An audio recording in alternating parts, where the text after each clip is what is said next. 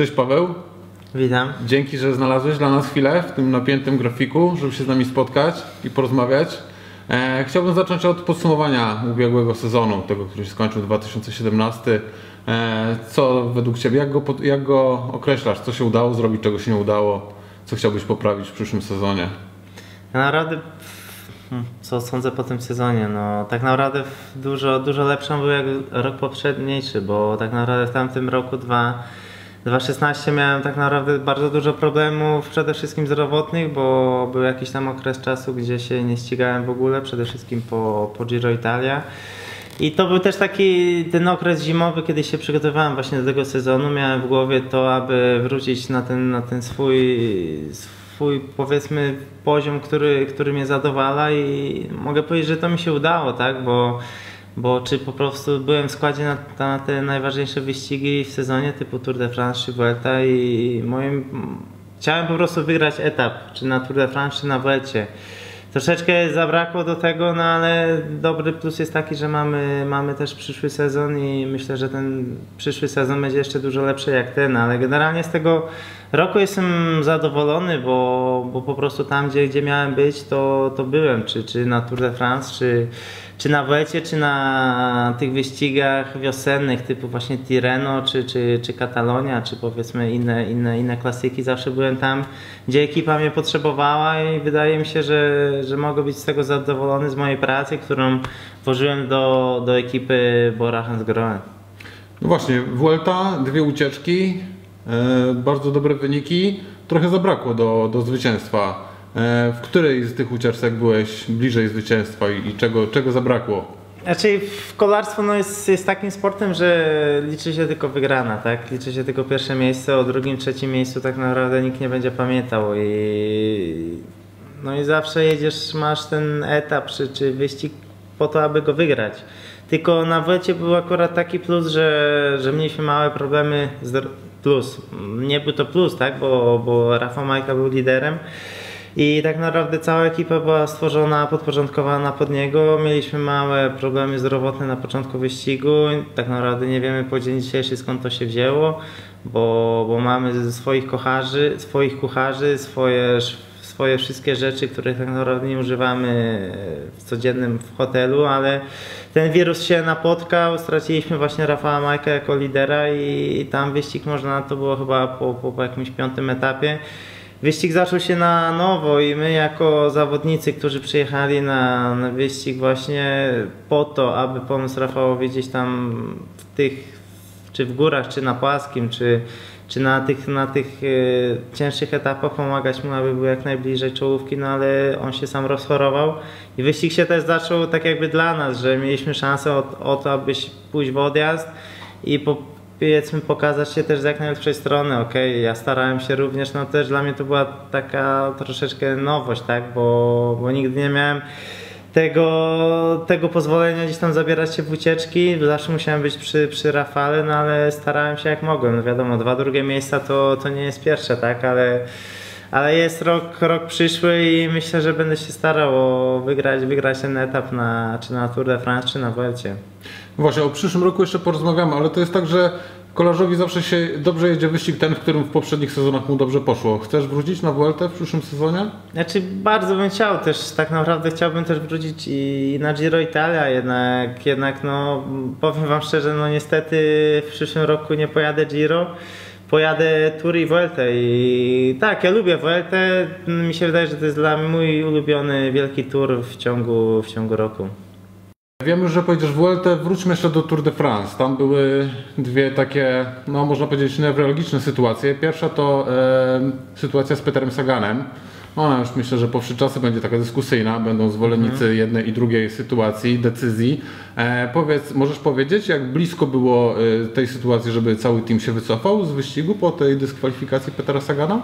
Czy był, był taki moment, że właśnie przyszedł do nas menadżer ekipy i powiedział, że, że chyba się wycofujemy z wyścigu, jednak jednak po tak jakby kiedy emocje opadły, no to, to było ciężkie do zrobienia, bo ponieważ Tour de France jest takim wyścigiem, jest najbardziej medialnym, naj, najważniejszym wyścigiem na świecie i ku, dużo Dużo sponsorów te wszystkie wyścigi ogląda, przede wszystkim sponsorzy od nas, jak, jak Bora czy Hans Grohe, to są naprawdę dwie duże marki w Niemczech i za tymi markami stoją stoi bardzo dużo ludzi, którzy te pieniądze na nas wydają. I po prostu to też by było głupie powiedzmy z naszej strony, że się wycofujemy z wyścigu, gdzie, gdzie mamy tak naprawdę ośmiu innych, ośmiu innych zawodników, którzy mogą wygrać etap, czy, czy po prostu na tym wyścigu walczyć, tak? Wtedy był jeszcze Rafał Majka, kiedy, kiedy był bardzo, był, można powiedzieć, no wyskończył ten wyścig w pierwszej piątce, tak? Gdyby, gdyby nie tak Raksa, no ale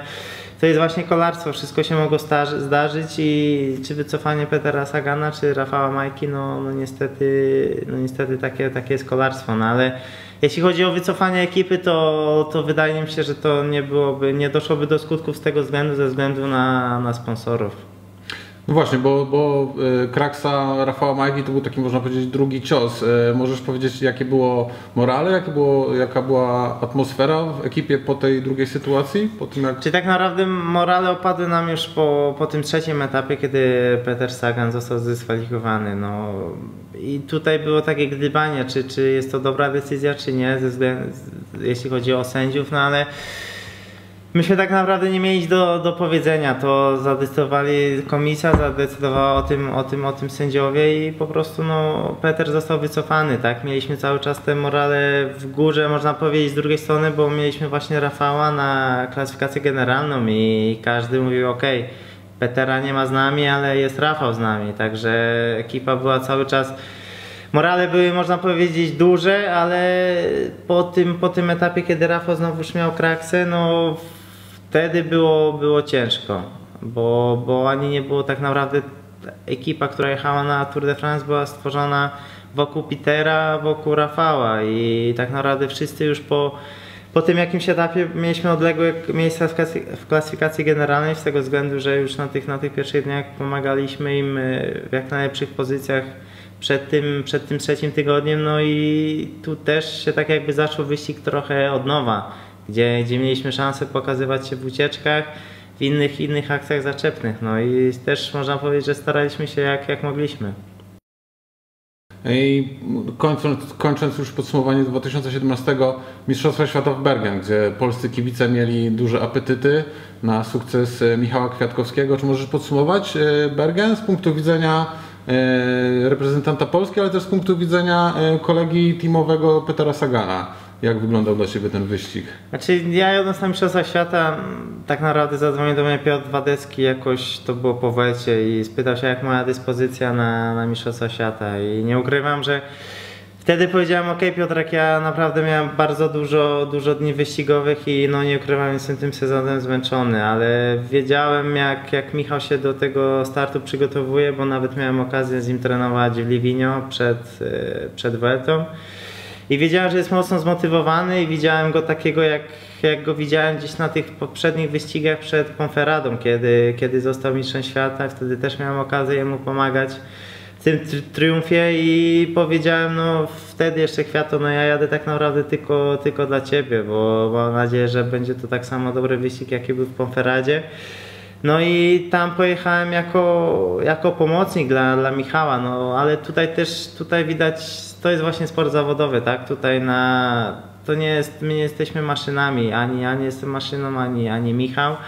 I po prostu też, no mi się wydaje, że Michał nie był w jakiejś tam dyspozycji stuprocentowej, ponieważ też można powiedzieć, zobaczyć na jego sezon, jaki, jaki miał poprzez cały rok i też trudno z tą, tą szczytową formą trafić akurat y, w ten wyścig. No, Bergen był takim wyścigiem, że nie był on może takim ciężkim jak w Konferadzie i i co tu wiele mówić, no wyścig się potoczył tak nie inaczej. Peter został trzykrotnym mistrzem świata, wygrał ten wyścig trzeci raz z rzędu, no i tutaj tak naprawdę dla niego, dla niego czapka z głów, tak, bo, bo po prostu no, nie było jeszcze takiego kolarza przed, przed nim, no ale no to tutaj to, to tacy kolarze jak Peter, czy, czy nawet Michał, tak, który też był mistrzem świata, no to są wielcy, wielcy zawodnicy ze światowego peletonu, ale ja się tylko cieszę, że czy Peterowi na co dzień e, w klubie Bora, czy jeszcze kilka lat temu w Tinkoffie, czy, czy Michałowi, kiedy zdobywał Mistrzostwo Świata, się z tego cieszę, że, że mogę im pomagać w, tym, w tych najważniejszych sukcesach.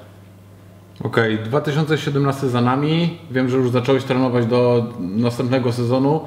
Kiedy pierwsze zgrupowanie i gdzie? Tak naprawdę wylatuję już w poniedziałek, do, lecimy tak naprawdę tylko na dwa dni do, do Niemiec. Mam ale tam małe spotkanie ze sponsorami, zdjęcia, wiadomo jak, jak to w ekipie kolarskiej. No i później lecimy tak naprawdę na, na pierwsze zgrupowanie na Majorkę. Tam siedzimy dwa tygodnie, wracamy na, na okres świąteczny do Polski. No i tak naprawdę od stycznia zaczynamy kolejne zgrupowanie również na, na Majorce.